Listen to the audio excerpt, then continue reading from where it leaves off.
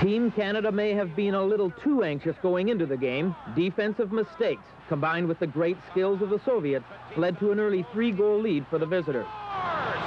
But quitting has never been a characteristic of Canadian hockey players, and constant pressure in the Soviet end led to a goal by Rick Tocchet. Then it was good old-fashioned hard work on the boards behind the net, leading to a second Canadian goal. Although the Soviets scored late in the period to take a 4-2 lead, Team Canada soon began to take control with an aggressive physical game. Momentum shifted, and Larry Murphy scored the third Canadian goal. Then Dale Hawerchuk got the puck to Brent Sutter. Canada 4, Soviets 4. Before the second period was over, Canada had the lead. But there was still a period to play, and although it was dominated by Team Canada, the Soviets kept sidestepping the knockout blow. Paul Coffey was turned aside, and then Wayne Gretzky missed an open net. Those near misses made it just that much more frustrating when the Soviets tied the game 5-5 with less than eight minutes to play. But as they'd done so many times in this tournament, Gretzky and Mario Lemieux came to the rescue,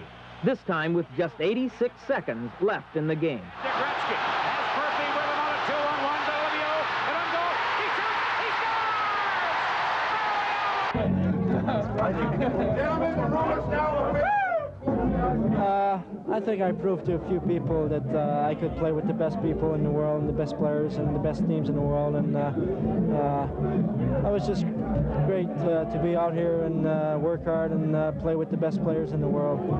play with Gretzky and all these guys. It's a thrill of a lifetime, and I was just happy to be a part of it. We said before the game tonight we needed a big effort out of somebody, and we got it tonight out of Tocchet. Tocchet comes off the bench with one leg, gets a goal and assist gets us in the hockey game. Great character. Dale Hawerchuk makes a great play to tie it. Great goal to get us ahead. Those two guys, as far as I'm concerned, gave us that boost we needed tonight. You know, we needed some extra offense. And those two guys, I think, deserve a lot of credit. I, I, I can't even describe it. Uh, this is not. This is unbelievable team. Uh, to come back the way we did, uh, three three nothing, and come back the game before we were down three to one, is something that I can't describe. And to be associated with Wayne Gretzky Mario Lemieux is something that uh, I'll never uh, forget.